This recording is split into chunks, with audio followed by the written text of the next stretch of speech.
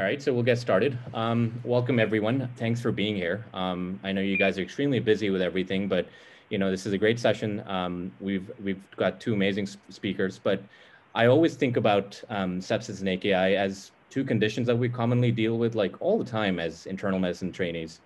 Um, the commonality of these conditions does not always equate with um, ease of diagnosis and management. they have a propensity for not only being um, you know, timely detected and managed, and also might have eventual deleterious consequences for your patients. So we bring to you two eminent physicians in the respective fields um, to simplify these issues for us. Um, I've actually known both of these physicians um, since I've been an intern, and I continue to learn a lot from them. But we'll start off with Dr. Marciniak, who will be speaking on the topic of sepsis. Um, I'll introduce Dr. Marciniak now. Um, she completed her medical education at the University of Illinois, Chicago, um, then completed internal medicine residency at the Ohio State University Medical Center, and then did her fellowship training in pulmonary and critical care at the University of Maryland Medical Center, where she now serves as an assistant professor. Um, along with that, she is currently the assistant program director for the Pulmonary and Critical Care Fellowship Program, along with being the associate program director for the internal medicine residency program at Midtown. Uh, without further ado, I'll pass on the mic to uh, Dr. Marciniak. It's all yours. Great. Thanks, Sam. Hi, everyone. I'm sorry that I'm having webcam issues right now, so you can pretend I look like whoever you want. Um, today we're, or tonight we're going to talk about um, sepsis, and that has to come with the disclaimer that there are so many nuances to sepsis and so many subtopics that there's just too much to cover in 25 to 30 minutes. And so I've tried to pick three management goals uh, that we could hopefully talk about in the time allotted, and then um, left a lot of resources at the end for you to follow um, your passion uh, on whatever subtopics of sepsis that you might um, you might be interested in. And certainly, I will be steadfastly avoiding discussing much about the kidney because that is not my specialty, nor was it even something I was at all uh, acceptable in as a resident. And we're, we're having an going to have an excellent talk um, about uh, AKI, which we see in sepsis all the time um, after this. And so I will leave that to, uh, to my colleague. All right, so sepsis, basics, and a few myths here. So first of all, we've got to um, make sure we're all on the same page with what sepsis is. And if you look at the surviving sepsis guidelines, they define it as the body's pathologic response to an infection which results in end organ damage. I think we could distill that down to infection plus organ dysfunction equals sepsis. And then septic shock is sepsis plus hypotension that's not responsive to fluids or lactate. Um, and you may be wondering why Kermit was visiting us here. So, so if you guys are not familiar with Kermit the Frog, he is sort of the original, the, the ringleader of the Muppets. And I wanted to bring him in for to personalize sepsis because the creator of the Muppets, Jim Henson, died of septic shock due to a staph pneumonia. And so if you didn't know anybody that uh, that was touched by sepsis before, now anytime you see a Muppet, you're going to be thinking about sepsis, which probably makes that sad, but also might help you in your uh, medical career. All right, so we, I told you we had three goals to talk about today. And the first goal is clearly the most important, and that's where we're going to start, which is that we have to recognize that someone has sepsis. Because if we don't recognize it, the other two don't matter. All right, so we'll start with the case and we'll, we'll try to, to recognize whether there's sepsis or not. Hint, we're talking about sepsis, so you might already have your cackles up there. So Mr. Watson's a 77-year-old man. He's coming into your urgent care with dysuria for three days. You can kind of see the rest of his history play out. So he's had a little bit of decreased urine output over the last day. Uh, he maybe had some chills. He's feeling achy and kind of like he has malaise. He hasn't taken his medications in the last couple days because he's been feeling very nauseated. And you can see his vital signs up here. And he's got some dry mucous membranes. He's tachycardic. And he has some suprapubic tenderness and CVA tenderness on the right. He, his skin looks fine, but his capillary refill is prolonged, right? We'd like that to be less than three seconds to get that nice uh, red color back, that, that blanching to go away. But his is taking a little while. And he's also taking a little while to answer some questions. And then just, just to round out his history, he has hypertension, hyperlipidemia. You could see his medications here. He takes one antihypertensive. Uh, he's no, no longer a smoker and a, a minimal drinker or a, a, daily drinker, but not much. question mark, uh, and he lives alone and is otherwise functionally independent. Uh, and then there's his family history. All right, so I am going to uh, open the chat box slash open uh, people who want to quick unmute themselves um, to ask you guys kind of what you notice about this case. And we'll take just a few, maybe 30 seconds or so to see what um, everybody is thinking about uh, this case. Where's the chat box? There we go. Don't be shy.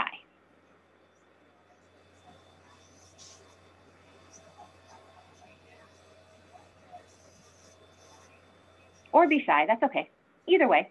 Um, this is one of the pitfalls of me not being able to see you and kind of stare you down until you answer something. Um, but so, so we can, we'll, we won't take too much time with that. So I highlighted some of the things that I thought might be um, pertinent to this case, right? His HPI sort of suggests that there might be an infection going on here, right? He hasn't taken his medications. His vital signs are, are clearly abnormal. And I wonder about this blood pressure, right? He's usually hypertensive. What's, what does he usually run when he's taking his medications? It's been two days since he's been taking his meds.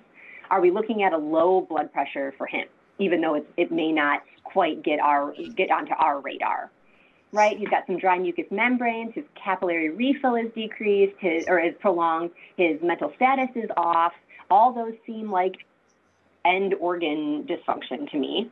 Uh, and then he's got some some possible localizing signs of infection here uh, in his GU system. That's kind of what I was thinking. And so hopefully you guys were also thinking some of the same uh, same things in this case, and whether or not that might make us think this is maybe not just a GU infection, but perhaps actually sepsis due to a uh, pyelonephritis or a UTI. All right. So in order to recognize that a patient has sepsis, we probably have learned some um, criteria that perfect that will uh, that maybe help us with this. And one of them, the systemic inflammatory response syndrome or SIRS criteria, brings us to our first myth. All right. So a myth that I want to make sure that we have dispelled, hopefully we already have, but just in case, um, a, a patient without SIRS criteria or that doesn't meet the two SIRS criteria that we know used to go into the definition of sepsis can't have sepsis. All right. The, the truth and how I want you to think about it instead is that most patients with sepsis will meet the, the SIRS criteria, right, which involves I didn't even put it up here because I know you guys must have already had that drilled into your head a thousand times. Um, right, temperature change, heart rate change, respiratory rate or PCO2 change, and certain white blood cell count, right? Either less than three or higher than 12, right? And so if you have two of those plus an infection, that used to mean you had sepsis.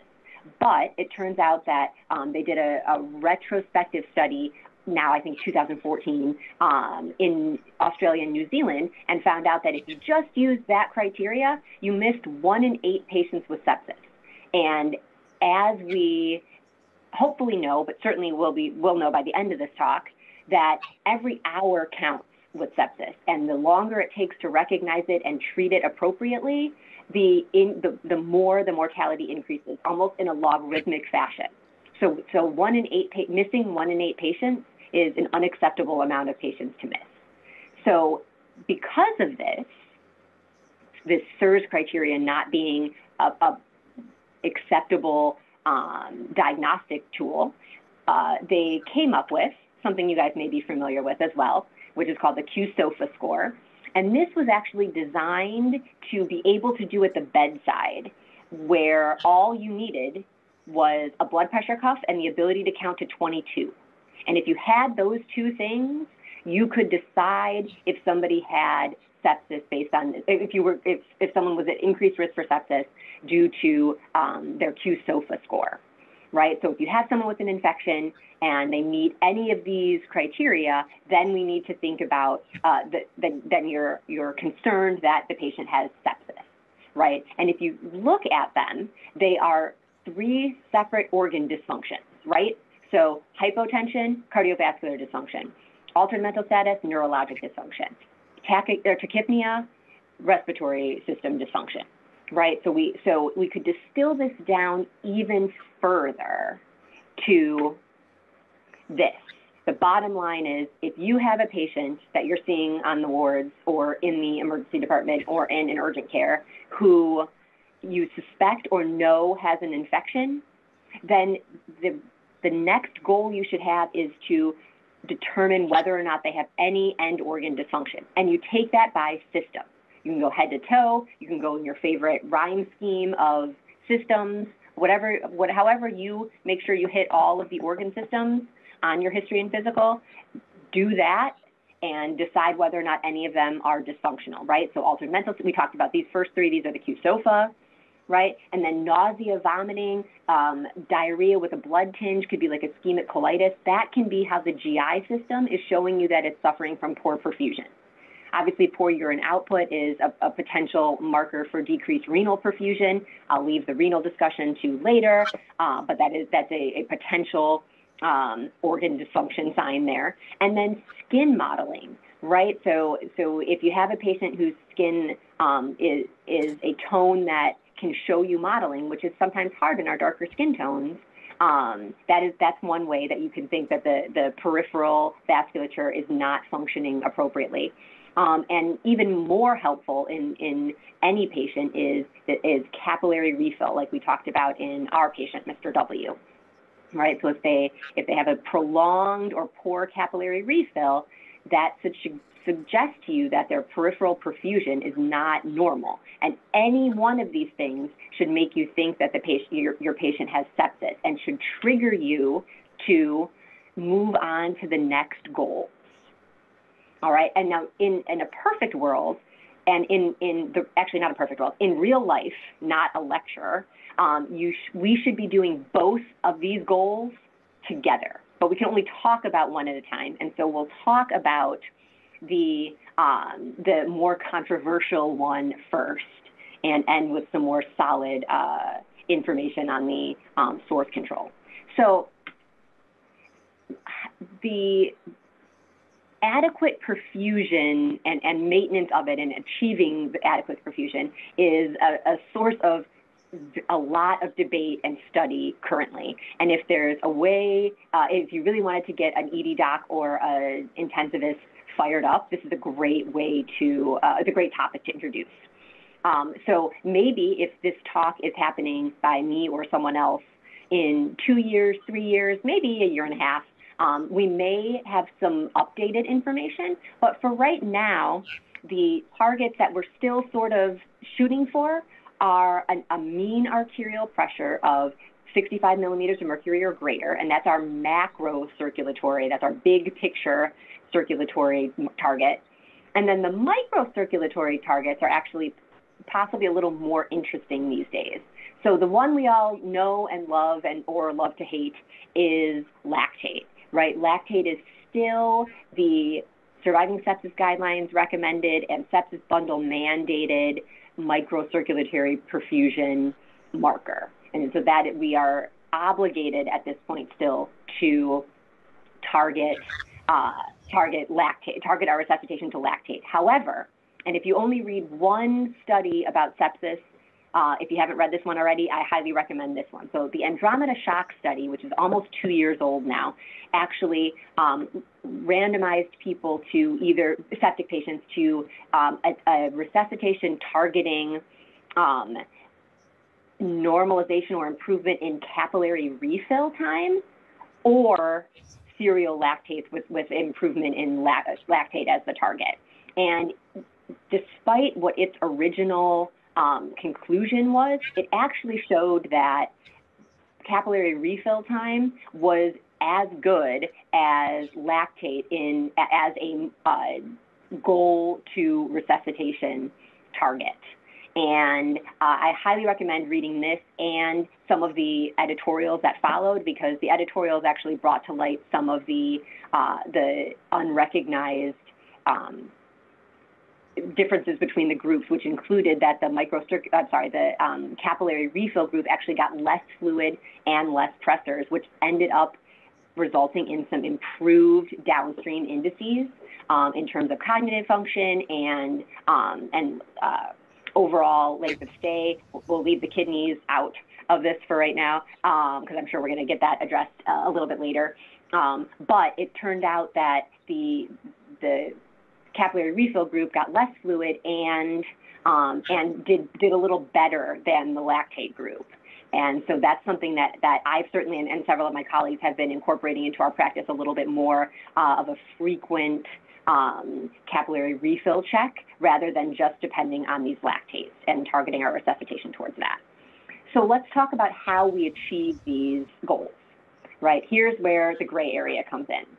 So the first thing everybody thinks about when we're talking about uh, improving somebody's perfusion and hitting these circulatory targets is fluids. And that part's not wrong. That's not really a myth, but the, the myth part is always only thinking about fluids and not giving pressors a chance earlier.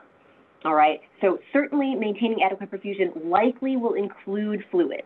The pathophysiology of sepsis results in vaso, severe vasodilation, which means profound decrease in the systemic vascular resistance, which then impedes the venous return and therefore the stroke volume. So the tissues aren't able to see freshly, freshly oxygenated blood as much as they want to. Um, though they're seeing plenty of blood, it just isn't freshly oxygenated right? And so that that does all that vasodilation does lead to a relative volume depletion. And if you add to that the insensible losses from the infection that stemmed the sepsis, you you almost certainly have some form of relative volume depletion. And so most people are going to need some IV fluid. There's unfortunately still and may never be science that tells us how much fluid is right all you guys might be thinking, wait a second, aren't we supposed to give 30 milliliters per kilogram? Isn't that the sepsis bolus? bolus? Wow, hard for me to say apparently. Um, yeah, you are, you are right. That is the sepsis bolus. That is the guideline. That guideline is based on expert opinion and one pediatric study.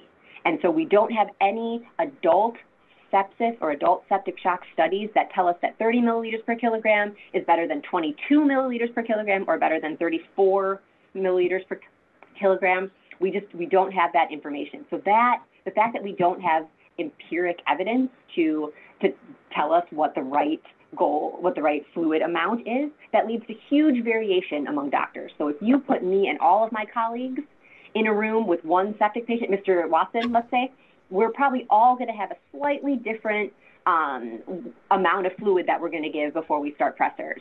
And if you if you took uh, one intensivist and gave them six different patients with sepsis, they'll probably have slightly different plans for each of the patients. And so that, that is confusing to people that are starting out, right? Um, but it is, it is part of the art of medicine. And then certainly there's also some debate about what what crystalloid fluid to give or whether to try to give albumin. And that's a topic I'll save for my colleague, or certainly if, if there are questions after all the talks are, are given, then I'm happy to try and address some of that. And there, I referenced some of the studies as well to uh, at, at, the end that uh, you can do some of your own reading. Um, and the, the key point with fluids is they're not a benign, a totally benign entity. All right, it, it may be better to think of them in the same context as blood products or medications because there are there are harms that could be hap- could happen with fluid. And if you, if you're looking at some of these sepsis studies that are at the end of this talk, uh, you'll notice that there are often worse outcomes in the groups that get higher amounts of fluid, whether that's mortality or increased length of stay or increased uh, severity of illness marker scores like the SOFA score or Apache scores.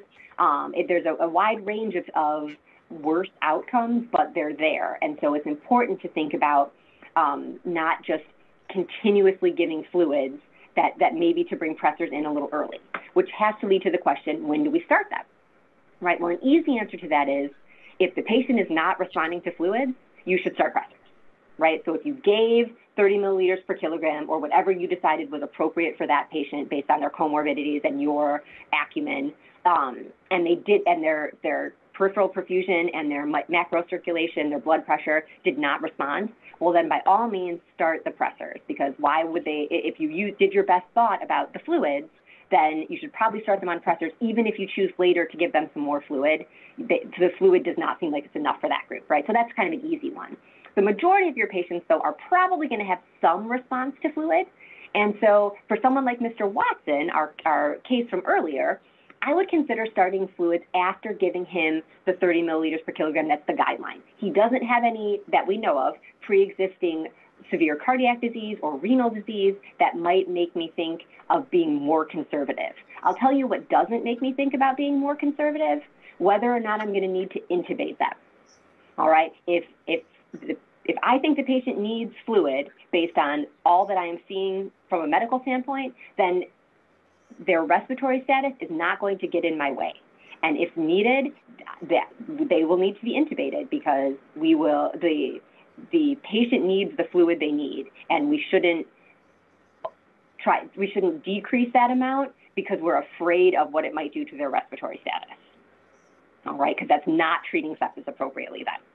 All right, so after the 30 milliliters per kilogram for Mr. Watson, I want to know how he did. Did his his MAP come up? Did he start? Did his mental status start to improve? But we didn't quite meet our goals.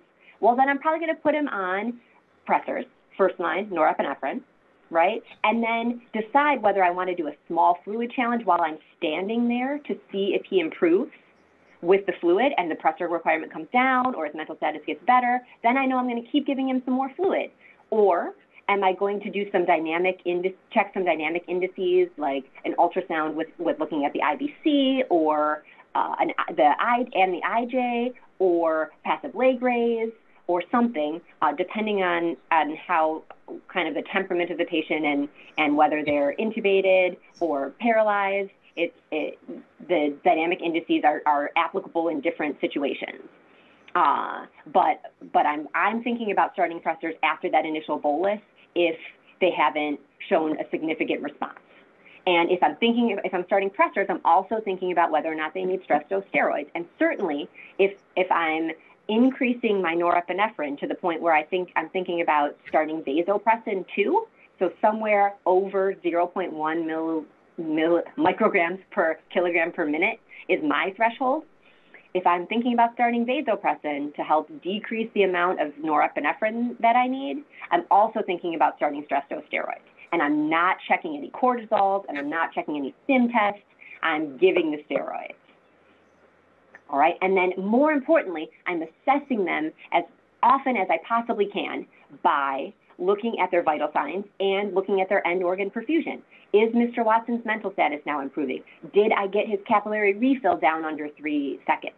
If so, then what we're doing is the right thing right? If not, then we need to revisit what we're doing. Do we need to increase the pressors or do we need to start pressors if we haven't? Do we consider if the pressures are going up and we're still not reaching um, our targets, do we consider giving a, a a small bolus of fluid to see if part of the problem is we just don't have the blood volume, no matter how tight we squeeze our blood vessels with the pressors, right? And a little little reminder that our physical exam might be just as good and might save our patients some fluid rather than waiting on the lactate. And we can do this as frequently as we need to, right? In the study, they did it every 30 minutes uh, instead of having to wait for the lactate to come back. So that's, that's within our power.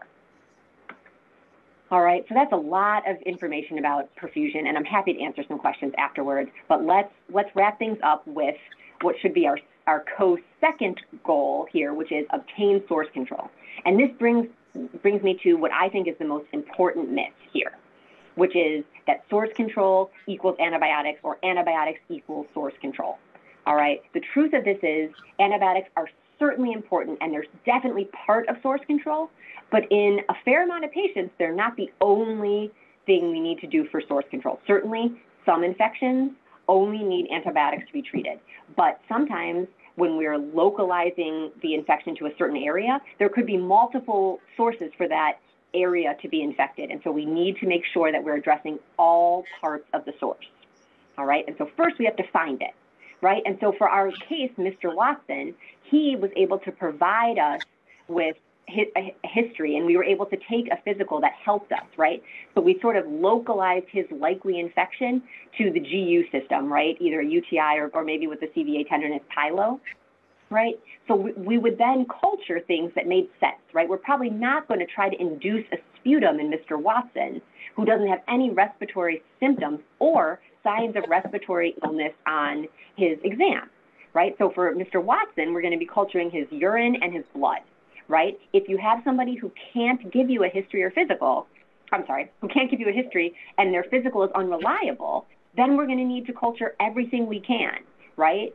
And especially if your patient, if, if you can't localize a source based on a history and physical, either because the, the source is nebulous or because they can't give you um, a history, then we need to image things.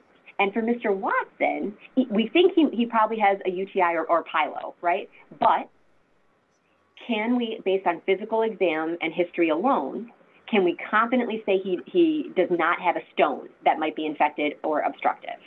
Can we confidently say he doesn't have a perinephric abscess? Right? We can't. And so for him, I would also get a non-contrast CT scan of his abdomen and pelvis to see if there's any fluid collections around the kidney. Yes, with a non-contrast CT, the, the first thing the radiologist is going to say is that we can't say for sure whether there's not an abscess or not. But most people shouldn't have a fluid collection around their kidney.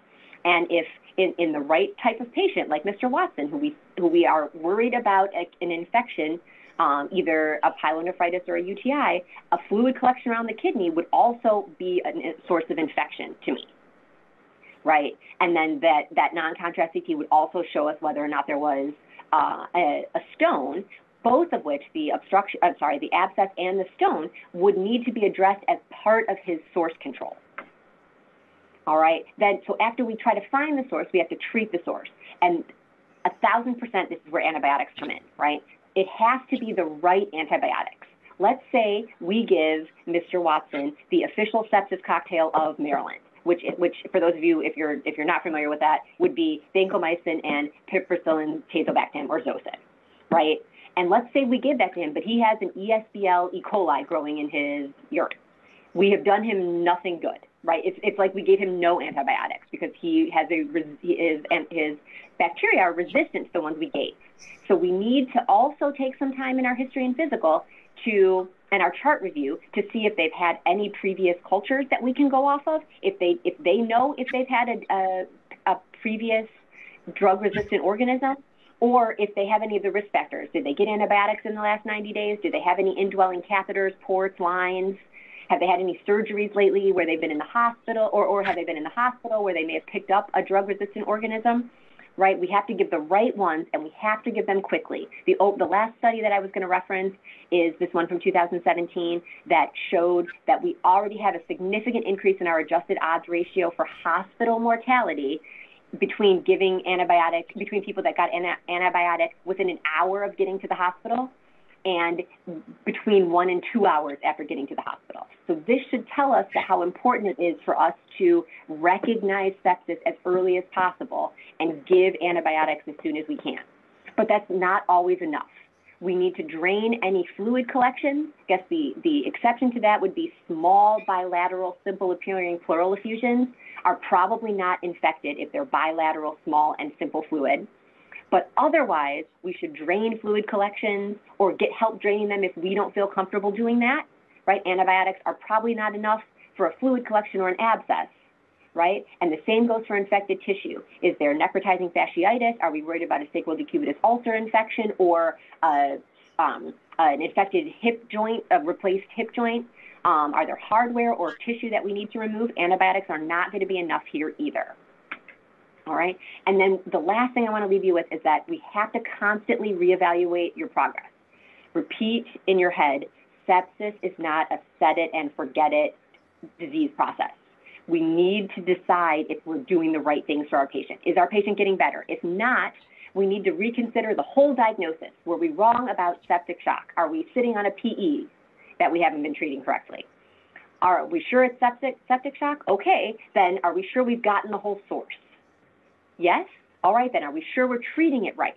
Let's revisit those antibiotics. All right? Or yes, the patient is getting better.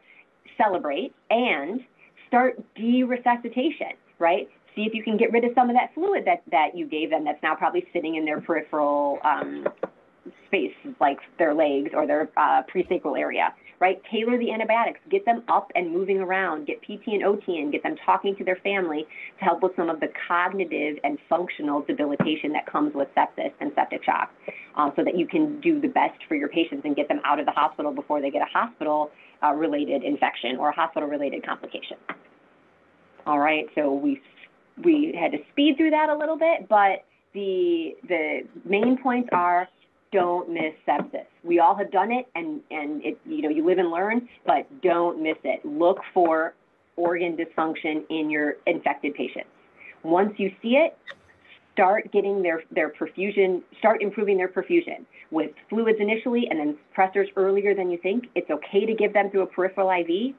Don't let lack of central access be the reason they don't get pressors. All right?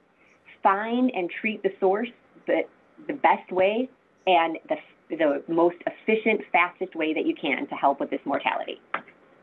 All right, I'm happy to take any questions and or comments um, now, and I'll just, while we're looking for some of those, I will just put up some of these articles that I recommend. Please do not feel like you have to read all of them ever or all of them in a night. Um, but these are just some of the studies that will help you kind of understand where we are with sepsis now. Awesome. Thank you, Dr. Marciniak. I, I, was uh, pretty much transported back to the MICU, um, hearing all those things from you currently. Uh-oh. Some PTSD you know, for Sam, It's, it's always such a great reminder, uh, I'll be honest. Um, but um, I'll move on to questions. Um, Appy yes. Chu asks, um, does giving steroid among patients with septic shock uh, increase severity of infection? Oh, I, that's an excellent question, Appy. So, so here's here's the, the thing about wh- why we give this, the steroids that we give. It is because we think the patient is under so much stress that they cannot possibly make enough endogenous steroids to maintain their their cardiovascular system's ability to get the perfusion that we need.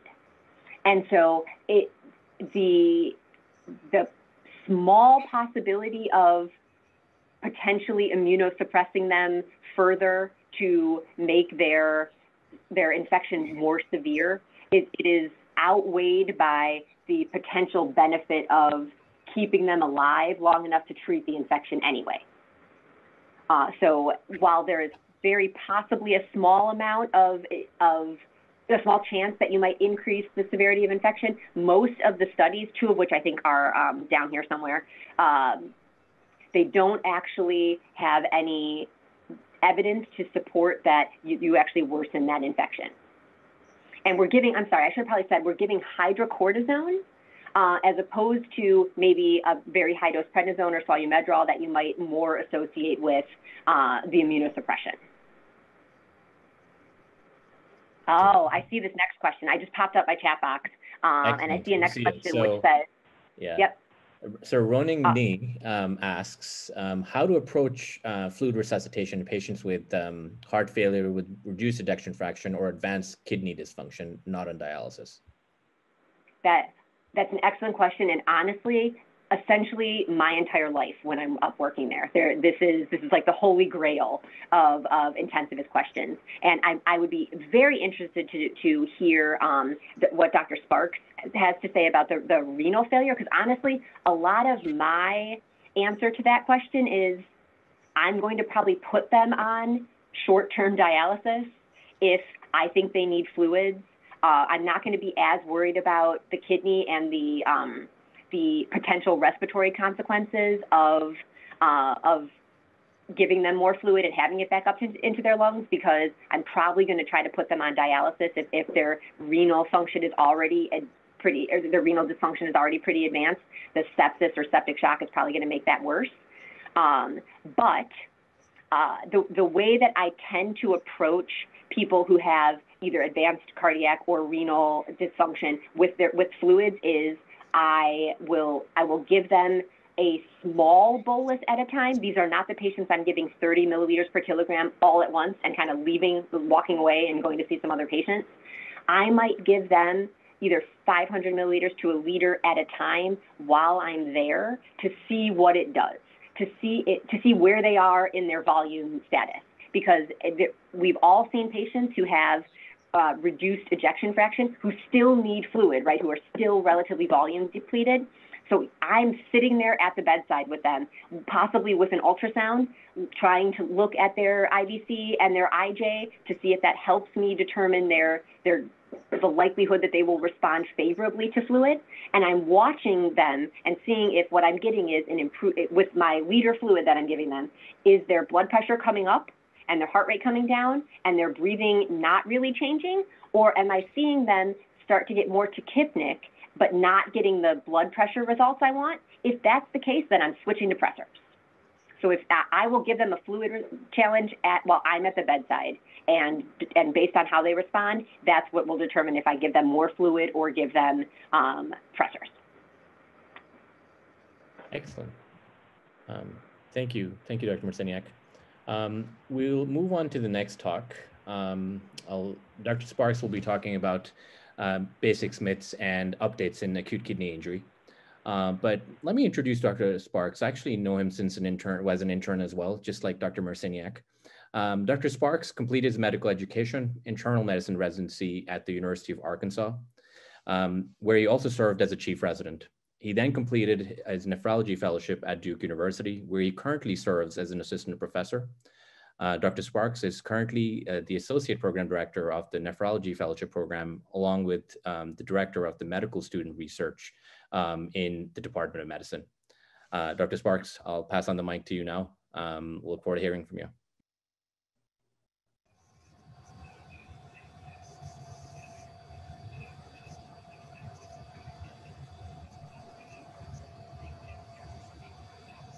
We're ready for you, Dr. Sparks. I think you have to unmute yourself. Ah, sorry. Can you hear me now? Got it. Yep. Well, thank you so much for inviting me. It's a real pleasure to talk about this topic. Um, and just to, as a disclosure, this is not an area of research for me. My area of research is in the renin-angiotensin system, hypertension pathogenesis, but um, it's a, a frequent area of what I see uh, in my clinical practice. So, um, give a, a, few disclosures that I have. Um, None of these have any financial conflict, but I will talk about a few of them. Uh, NephJC, Renal Fellow Network, and I'm, on, a member of the ABIM Nephrology Board. So the outline for my talk, one, um, why does AKI matter in the ICU? We talked a little bit about that uh, earlier. Um, how is AKI diagnosed clinically? And just a very brief discussion on that, and we could have a whole several hour talk on it. Um, but really getting to the meat is busting two myths in AKI. Since it's a short talk, I really want to make this evidence based and give you something to go home with. So, what about AKI and how prevalent, how often does it occur, and what, what does it mean? So, 57% of patients will develop AKI within the first week of admission to the ICU. And you know, different studies have different numbers, but it's also dependent on how it's defined and this is sort of all comers from stage one, two, three AKI. And that's just minor uh, increases in creatinine. We'll talk a little bit more about um, the different methodologies people use for defining AKI. In this same study, though, 14% uh, of those individuals require dialysis, and that's pretty shocking. And I mean, as you if you know, if you round in the ICU, you see a lot of patients um, in the ICU, um, and for a variety of reasons, from the SICU to the neuro ICU, cardiovascular ICU, and from sepsis. And this has a profound impact on patients. And in fact, if you look at uh, the average mortality rate of someone who has AKI from sepsis who, who's on dialysis, compare that to patients that um, have sepsis without AKI or have an MI in the ICU or have ARDS with mechanical ventilation, you see that the mortality rate is, is quite high at almost 50%. So it has also been shown to be an independent risk factor of death. So that is really uh, striking, and it's why we really need to, um, to, be on the lookout for AKI. And a lot of research is going in to try to understand how can we diminish um, the morbidity associated with, with AKI.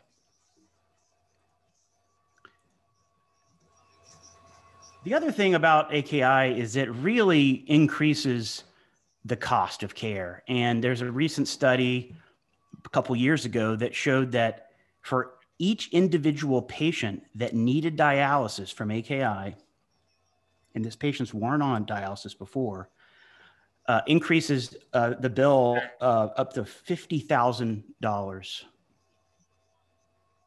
Someone say something?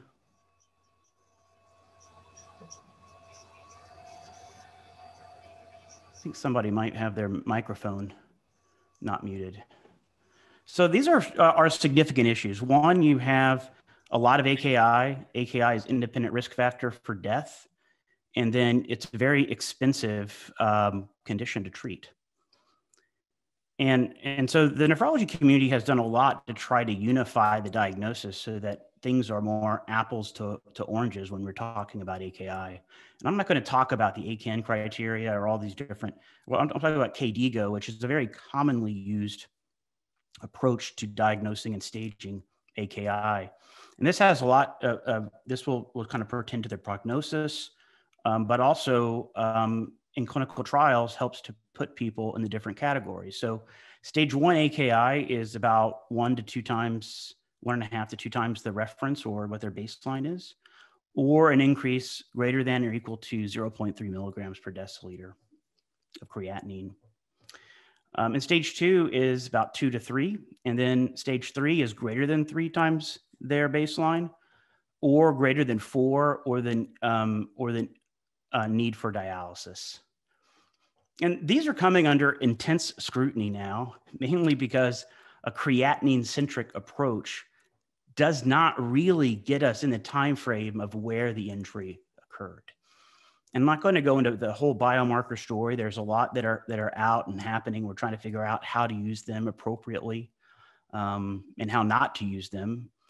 Um, and we're going to talk more about a few clinical trials. But the other, there is a second part, and that's the the urine. And, and this has been a very tricky part because it's exceedingly difficult to get uh, good measures of urine output in the hospital.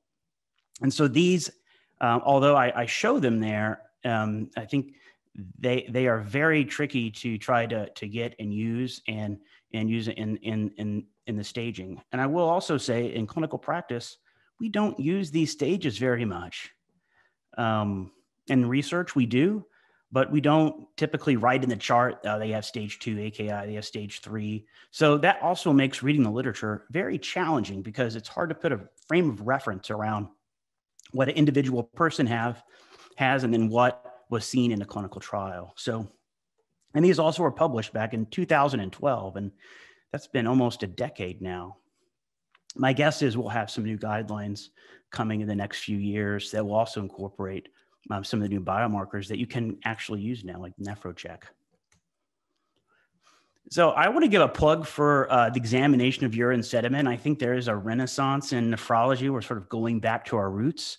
And if you go to Renal Fellow Network, which um, you know, I gave a conflict of interest. We have this uh, urinary sediment of the month. And uh, one thing that you notice and you see uh, is the presence of these granular and muddy brown casts in the urine. And, this, and the, these bottom ones in C and D are stained uh, with Sternheimer Malbin stain, which is a really cool thing if you ever want to give it a shot. And then you also see the presence of tubular epithelial cells and both of these are hallmarks of acute tubular necrosis. And there have been studies to look at the urine sediment and try to prognosticate, you know, how severe the injury is. So you look at the creatinine, the urine output, and then you can look at the urine sediment. And you can see that if you have um, no granular cast and no um, renal tubular epithelial cells, then you sort of have a score of zero one to five per low power field for the granular cast gives you a one. And then you can sort of see that um, um, one to five um, of the renal tube epithelial cells gives you a point. You can get a total of four points. And so um, Mark Perazella and Chirag Parikh, um, I think when he was at, back when Chirag was back at Yale, uh, did the study 2010. Um, and they looked at the score from zero and they lumped the three and the four together and they sort of see like right when they got the consult what happened. They have worse aki after the consult. You know occasionally nephrology we consulted and it's amazing. It's like like the nephrology fellow scares the aki away like right when you see the patient or right when you call them the next day the creatinine's down. So that does happen. But you see if you had a higher score then then those are more likely to get worse after that initial consult, more likely to require dialysis or die. And so I think that's another thing that we forget is that these are additional things that you can um, think about when you're seeing a consult or you have a patient with AKI uh, when you're prognosticating sort of what's going to happen. Okay, so that's really all I want to talk about to try to frame this and say, all right, AKI is prevalent. We know if patients get it, it's bad. It costs a lot of money. Um, and it's been very frustrating to do research on this topic, especially in the ICU. Uh, we've had high versus low intensity dialysis. We've had CRRT versus uh, standard dialysis, and nothing has really shown a real big uh, benefit. And in the last five years has really been um, a lot of cutting edge clinical research in this area. And I'm going to highlight two of those studies. So, myth number one early dialysis in the ICU will improve outcomes. So, um, and, and different ICUs have different sort of feelings about this, but the thought is, is hey, I don't want someone to get volume overload. Let's just start them on dialysis. And then we can just take care of everything and we don't have to worry about the fluid question. We just start them on dialysis. We don't have to worry about them developing hyperkalemia at two in the morning when the nephrology fellow is asleep. We don't have to worry about acidosis, everything, all those things be taken care of by dialysis. And so that is going to be uh, help help the patients. And so that's myth number one. And we've had four or five really um, good clinical trials conducted over the last several years. I'm going to talk about one of them. It's a STARRT AKI trial, and it was just published last year in the New England Journal of Medicine. It's hard to believe everything that was crazy that happened last year was really an amazing year for the field of nephrology. A lot of really high impact, uh, high impact research. So, what is the uh, STARRT AKI trial? And it was a trial that looked at the timing of the initiation of dialysis in the ICU setting. It's not you know, it, it, the, type of dialysis is up to the discretion of the providers. They want to do CVVHD, they can do it. They want to do SLED, they can do that. They want to do uh, standard dialysis, they can do that. So this is a, a multinational randomized open label trial in the ICU. This is the largest clinical trial to look at this question that's ever been performed. Um, and I just included some of the bigger countries that Australia, Canada, France, UK, US, all were involved, 162 hospitals. So, really, that's impressive. All the other studies um, were either single country or single center. They were much smaller. And so that really makes this a very important trial to look at. So, what was it? Um, it was uh, a, a, trial of, di- of dialysis in the ICU, like I'd mentioned, 18 years or older, and you had to be admitted to the ICU and basically have uh, creatinine go uh, from uh, 1.13 to 1.47 baseline in the ICU. And then you have to have KDIGO stage two or three AKI, which I've already told you about that. So basically has to go from a creatinine uh, two times the baseline or greater than four, but you had to have an increase. So like can't come in and it's just four and your baseline is four has to be four and then go up to 4.3. You also had to have uh, urine output decrease um, in 12 hours, um, 450 milliliters. So they randomized patients into two uh, different groups. And we'll talk about the standard group. And I'll say this is the usual care group. This is what we're taught. This is what nephrology fellows uh, are, do usually uh, is come and say, um, you you know you get a call from the ICU and you say, okay, what's going on? And you basically don't start dialysis until there is a clinical indication um, that's refractory to medical management. So um, they have to have hyperkalemia, acidosis. They have to have uh, respiratory failure and volume overload. There were some parameters around that. I, I, wanted to make this as sort of succinct as possible so you can learn something from this. Um, and then you have to have AKI uh, for 72 hours after randomization just to ensure that these actual people had AKI. And then the second group is the experimental arm. That's the accelerated group. And these individuals, right when they got randomized with those K- KDIGO guidelines, which some of those aren't too bad, you know, see a patient with the creatinine of two, their baseline was one. You know, you're not going to be like, eh, let's go ahead and start on that person. So this is a really accelerated uh, group. And these patients had to start dialysis within 12 hours of meeting full eligibility criteria. So here's uh, sort of a, a, real brief overview, and and most of uh, the, the, group was was really well um, uh, represented. But you see, is 1,400 patients in each group. I mean, that is amazing. You know, that is some data that we have never seen before. The creatinine at baseline was about 1.4. The creatinine upon entry uh, was 3.6 in the standard group, 3.4 in the accelerated group.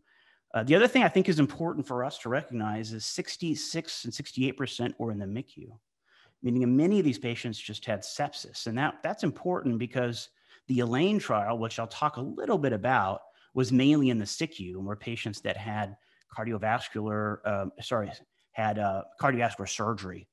Um, 75, 78% were mechanically ventilated. So these were actually sick patients.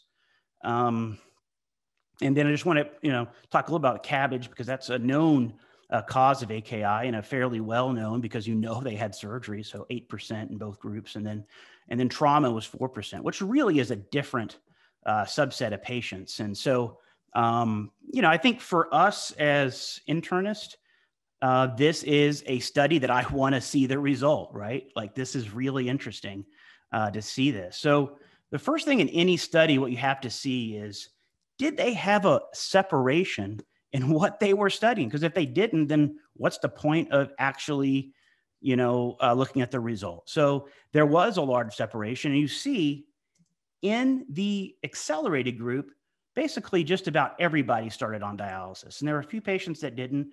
And you know, there you know, there was a wiggle room before, like, hey, you can't, you don't have to do it for if you have other, you know, if you and also you died, you know, you can't go on dialysis. And this is the patients that died. And then look at only 50% or so in the, um, sorry, only 50% of uh, patients in the standard arm ever needed dialysis um, in, in the uh, seven days of, of enrolling in the study. So, um, Okay, so let's see what they showed. And I think this is really interesting. Is um, they did not show a, a difference in survival at all.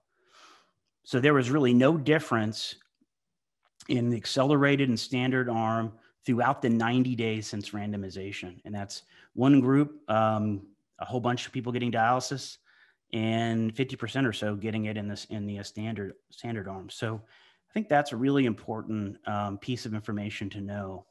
You're not going to save their life by doing dialysis really early. And uh, there are some issues with how early they began. I mean, in many of these instances, I don't know if I would necessarily pull a trigger that early. So, what about the subgroups? And I had mentioned earlier about the ELAIN trial, and that's why I really wanted to, to show you this. And you go to the subgroup of the ICUs, a surgical versus medical ICUs, you can see the numbers here. Remember how I said the ELAIN group did better in the accelerated strategy, the early group in that study? It's a single center trial in Germany. If you look here, the surgical side actually definitely wasn't on the accelerated side and maybe even more on the standard side. So I think this is a really important piece of this study to look at because this subgroup is about as large as ELAIN and it's multinational.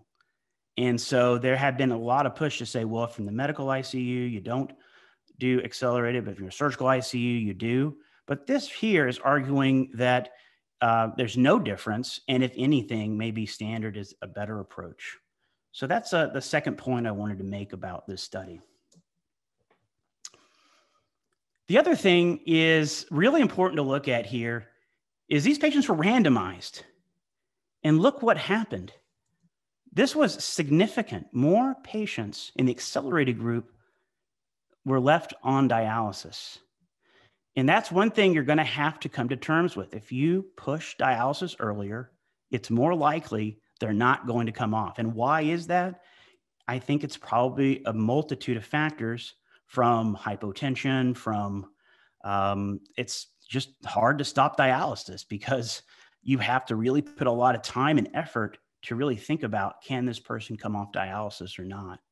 And so if you look here in these groups, so there's probably about um, 35, 40 more patients in standard arm that uh, that weren't on dialysis compared to the um, accelerated uh, group.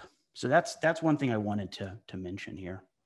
So here are the studies, and you know this is a brief overview of this study. I only have 30 minutes, so I didn't want to go into too much detail, but I mentioned ELAIN.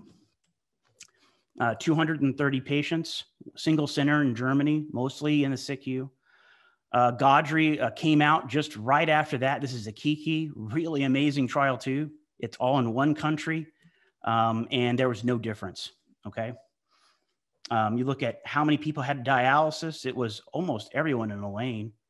Akiki, um, very similar to STARRT AKI. And then you had the ideal ICU, about 500 patients in, in France, uh, also had uh, no difference in mortality. So if you look here in the mortality rates of early versus late, you see that there was a decreased mortality in the ELAIN study. And I've already sort of given you a little bit of understanding about why that, potentially why that was. Uh, and then Akiki, nothing, ideal, nothing, start AKI, nothing. There was a little bit of a diminished length of stay in the ICU in the accelerated group of start AKI. However, all the other parameters which I mentioned, and the fact that most more patients were on dialysis long um, after they left the ICU, uh, makes our early start a really or accelerated start, um, you know, not an ideal uh, strategy. So uh, just to wrap up myth one, uh, the reality of early start ICU, will it improve outcomes? Um, it does not result in improved outcomes and results more, more patients on dialysis. So the current approach is to still start dialysis when clinical indications arise, which are refractory to medical management. You know, this is a big statement statement to make, but I will say that um, this is a clinical study. It's a lot of patients. The individual decision is nuanced and challenging, and oftentimes um, you're going to have to make decisions about when to pull the trigger or not. And I think the first uh, talk um, really went into some of the, the more nuanced discussion points about this. But I think knowing these clinical trials is very important. Okay, I want to switch gears a little bit. So if you're a nephrologist, you know Burton Rose, you actually can tell what vintage a nephrologist is by what Burton Rose book they had. And, and for me, it was this one here, the Black Clinical Physiology of Acid-Base and Electrolyte Disorders. This is the Bible. This is what we preach, just what we teach, and uh, it, it is something that is revered. If you pull up their discussion about Ringer solution, you'll note that one, they say there is no evidence that these solutions offer any advantage when compared with isotonic flu- uh, saline. Furthermore, lactated ringers should not be used in lactic acidosis. So, thinking, no role in the ICU. And that's what we were taught. And that's how we practice medicine. That's how I practice medicine. Luckily, uh, we began to study um, LR, lactated ringers, physiologic and balance solutions. So, myth number two normal saline is the fluid of choice. Burton Rose said it in his book, so we should use that. Here is a nice overview of all the fluids. And I will reiterate that fluids are medicines and you need to know what is in them. This is very frustrating as a nephrologist to get calls and people dumping uh, amps of bicarb into normal saline. Just absolutely insane. Know your fluids. So I'm not going to go through all of these, but we're going to go through a couple that we're going to talk about Plasma-Lyte, um, normal saline, and lactated ringer. So let's pull those out so we don't have to look at everything else. And we, we can look at sort of uh, the differences here and see one of the biggest glaring issues is uh, chloride. I'm not going to go to other talk about lactate. We can, I can, you can ask questions about that, uh, or the pH of the solution. You can ask questions about that. But the, really, the one of the glaring differences is the amount of chloride content. And two, plasma-lyte and lactate ringers have a normal uh, chloride content, physiologic. And uh, the saline has a very high uh, level of chloride content. So what, what, does that mean exactly? What is that? Is that of any consequence? Um, we have to go back to physiology a little bit. And physiology is what I do. And so I have to have a little bit of discussion about the nephron.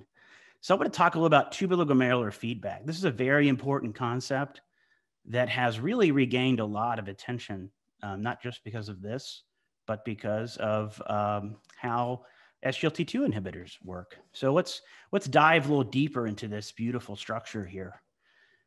So um, in order to understand tubuloglomerular feedback, you've got to jump into the glomerulus and the apparatus surrounding the afferent efferent arteriole, and the macula densa.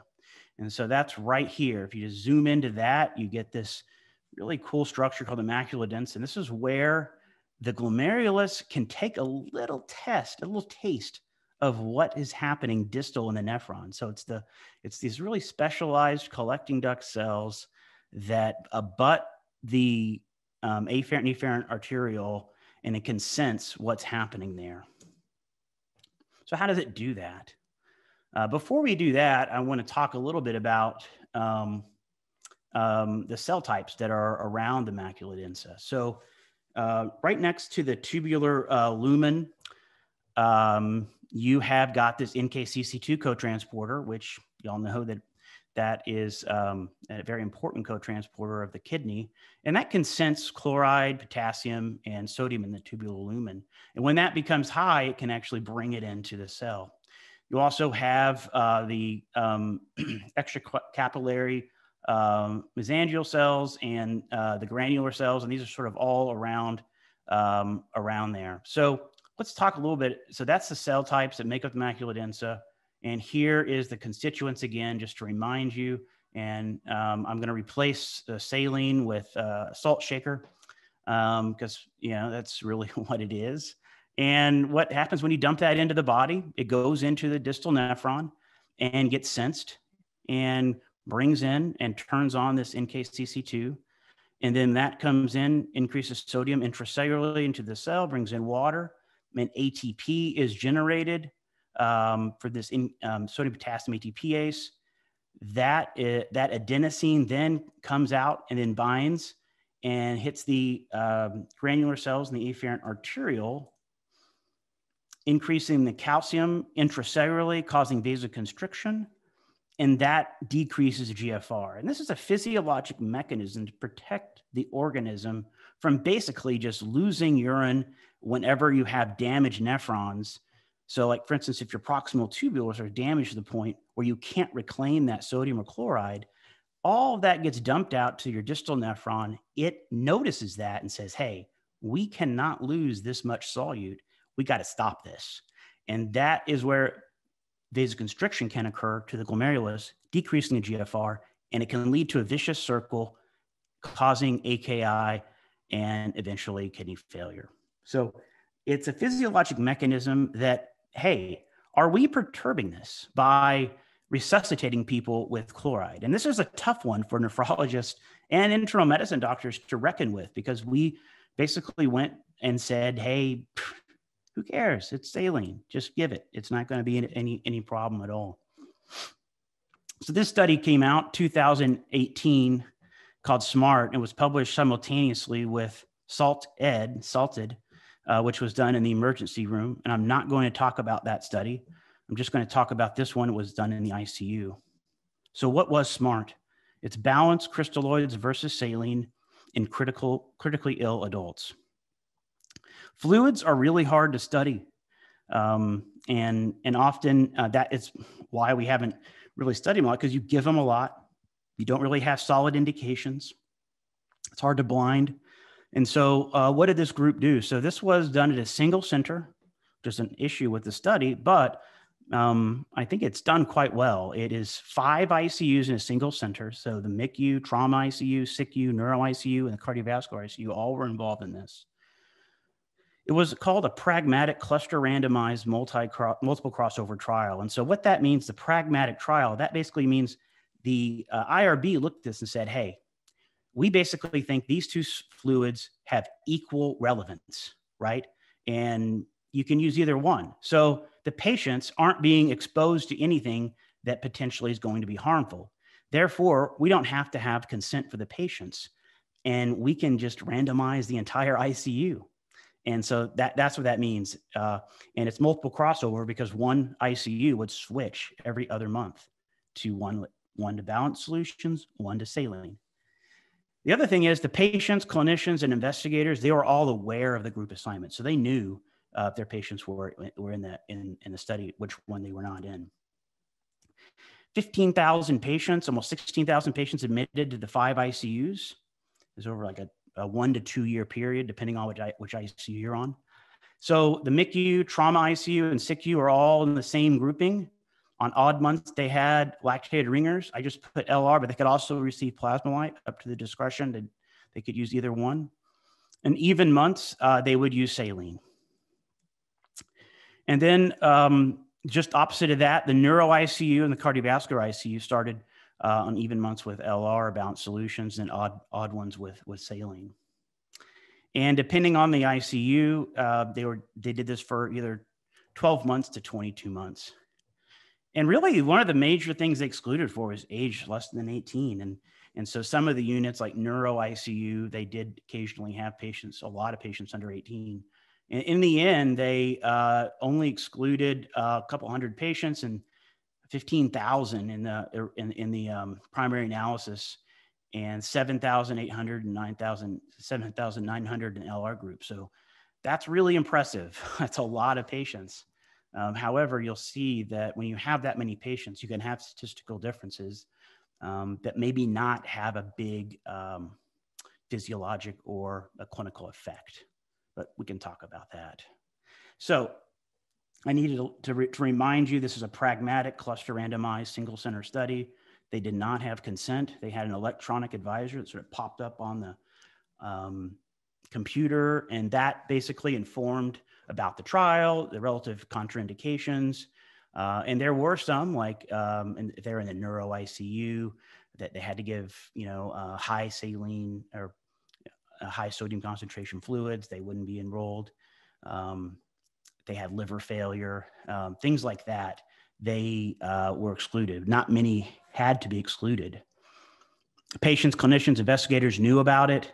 The other issue is um, occasionally you have patients that maybe get admitted at the end of the month. You know what happens? So there was crossover of patients that would start in one and then they would switch to another and so they would be exposed to both types of crystalloid. And so um, in the supplementary data, they sort of have all the information about how much crossover they have. It was pretty similar in both, but not a, not as much as you, as you would think. So those were uh, sort of uh, how they did the study, and they did the same thing in emergency departments, uh, emergency rooms throughout Vanderbilt, and uh, that's a separate study.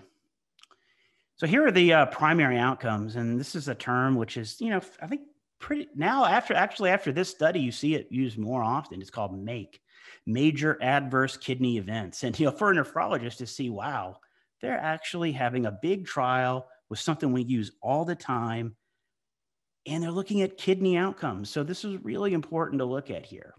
The other thing to recognize, though, is just as we talked before, you know, in sepsis, it's all about source control or why do they have sepsis? This is a very much a secondary issue. I mean, uh, patients that needs fluid, you're not going to fix their problem, you know, like, uh, so, you know, how much of an impact can you make in someone's um, disease process? So this is a com- composition of death, new dialysis, they call this persistent AKI. Basically, the final creatinine is greater than 200% of the baseline. And occasionally they did not have uh, baseline creatinines. They like computed it based on um, like average creatinines for whatever the age and uh, comorbidities that the individual had. The secondary out- outcomes were in hospital death before ICU discharge, ICU free days, ventilator free days, vasopressin free days.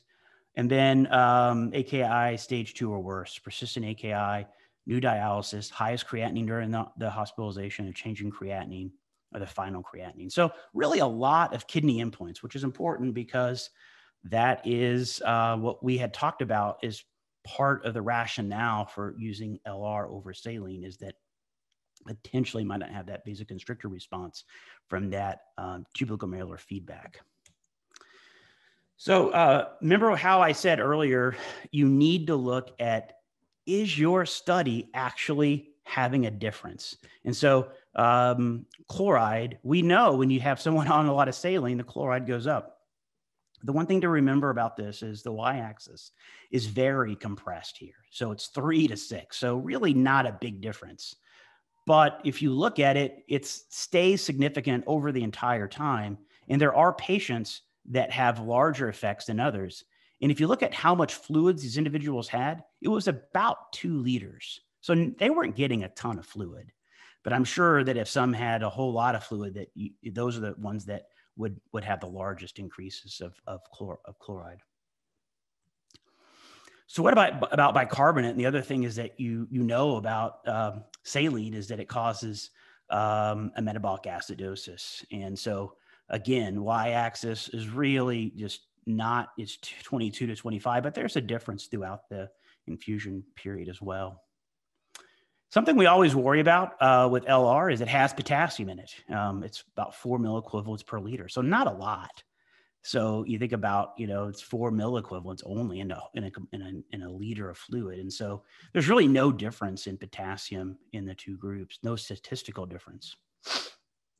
And then what about sodium? And so that's another thing is there's a little higher sodium content uh, 154 versus 144. And so the saline group did have a statistically significant increase in, in sodium content throughout the um, first seven days in the ICU. But this still, it's, uh, you know, so many patients, you can have a statistical difference, but it's not, uh, I don't think it's not, not much of a clinically meaningful difference.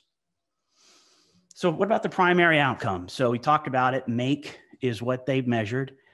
LR, um, and then the SALT saline group. And you see, interestingly enough, the composite of all of these was significant at 0.04. And as I mentioned earlier, is this a clinically meaningful significant? I think it's it's hard to it's hard to say, but if you think about how often we use fluids around the world, maybe this can make a difference. Um, interestingly enough, the receipt of new dialysis or renal replacement therapy, how they refer to it here, uh, was very close to being significant. So the saline group had 2.9% versus 2.5 in the balanced crystalloid group. So, I mean, that that's interesting too. Uh, I mean, and for something as what we thought as innocuous as fluids to potentially actually alter outcomes um, in, in a trial that does have caveats, it's pragmatic, it's single center. But I think this is really kind of provocative here.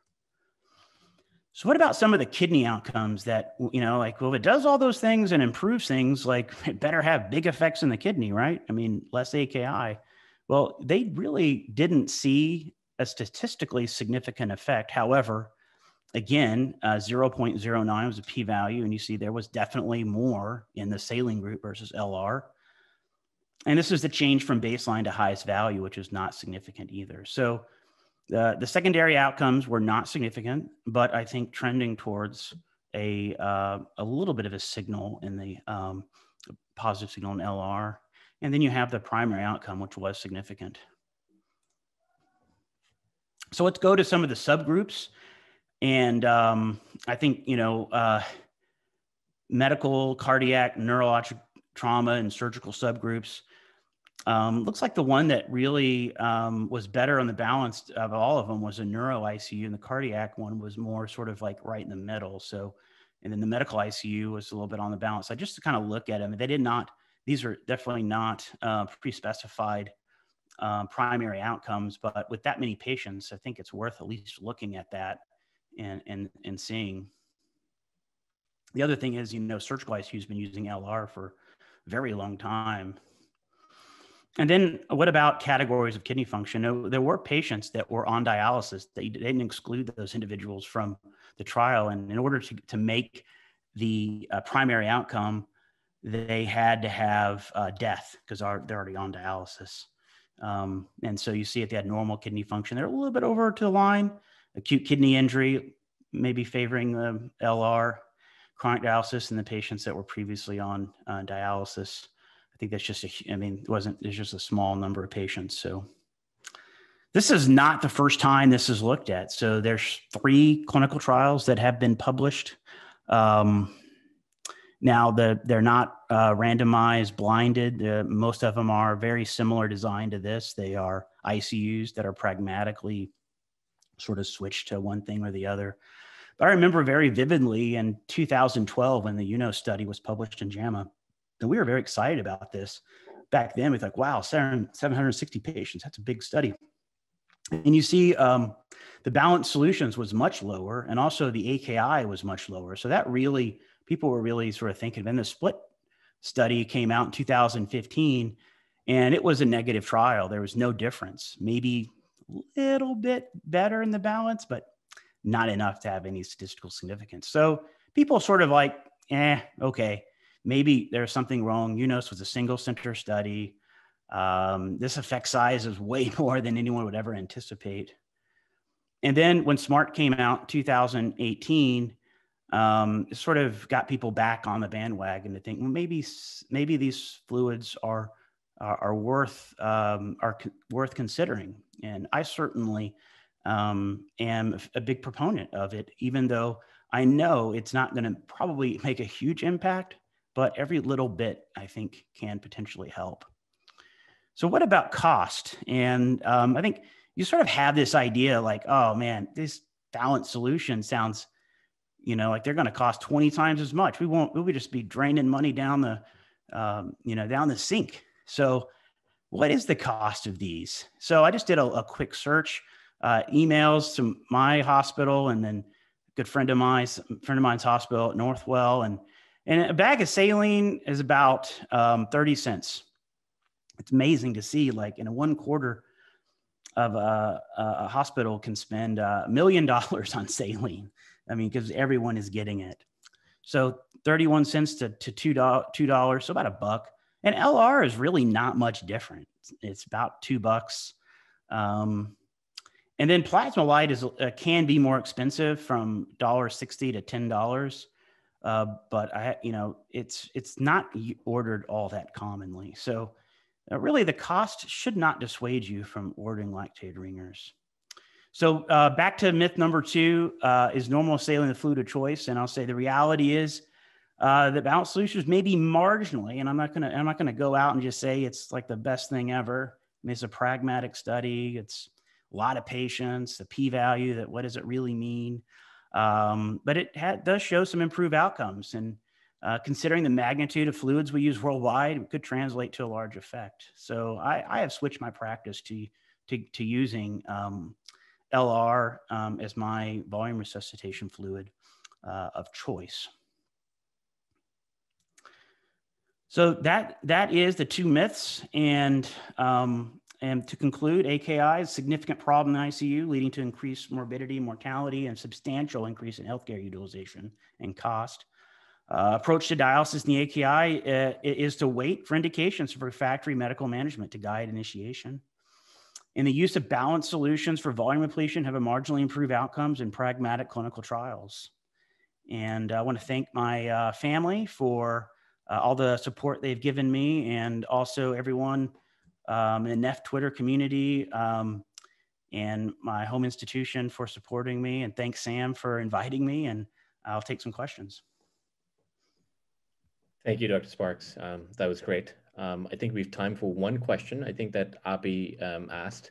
Um, he, his question is, you know, the trials that you presented here, did they use mm-hmm. fluids during resuscitation? Um, is that correct? And then uh, what would be your preferred fluid for maintenance? I think you just mentioned it recently, but I think we'll go for it. Uh, yeah, well, um, I think the first question was about, yeah, so uh, about goal directed resuscitation. Is that what it was? Yeah. So he, what he was asking was the trials that you presented was the scenario of fluid uh, in, in case of fluid resuscitation as opposed to just using maintenance fluids. Yeah. The, I mean, these, they did not tell providers that they had to use these as maintenance. It was up to the discretion of the provider about like when and when not to use it. it, like they didn't they didn't really go into detail about how to use the fluid. It was just like, hey, in this month, our ICU, if you're going to use fluids, we have LR. Does that make sense? So um, they weren't giving any directions as to what the goals of the fluid, or um, it was completely up to the discretion of the physicians. And then the other question was that do you have a preferred fluid for maintenance? Huh. So, uh, I mean, maintenance is a tricky question. I feel like you're backing me into a hole there. Uh, you know, if a patient truly needs maintenance, for instance, they're having ongoing losses, like for they have a, um, you know, a drain that's, you know, they're losing a lot of solute. Um, you know that i mean lr would be a preferable uh, fluid and will you know if you put someone on saline you're going to get a metabolic acidosis you're going to have a ph drop chloride's going to go through the roof so yeah i think lr or any other um, you know Plasma-Lyte would be the fluid of choice Excellent. Um, I think we're uh, right on target for time. Um, so I'd just like to thank everyone for attending today. Um, above all, I'd like to thank Donnie um, and Mary Ellen. Mary Ellen is pretty much the, the heart and soul of uh, ACP Maryland and has been responsible for each and every meeting. Uh, she's pretty much, pretty much guided every chief resident for the past two decades. So you could pretty much say um, she's, she's the heart and soul of ACP. Uh, but we hope you uh, were able to take back pearls from today and apply them to your clinical practice. Um, I'd really like to thank Dr. Marciniak and Dr. Sparks for um, taking the time today and for distilling complex topics in such a simple way. So thank you, everyone. And uh, it, was, it was great to have you.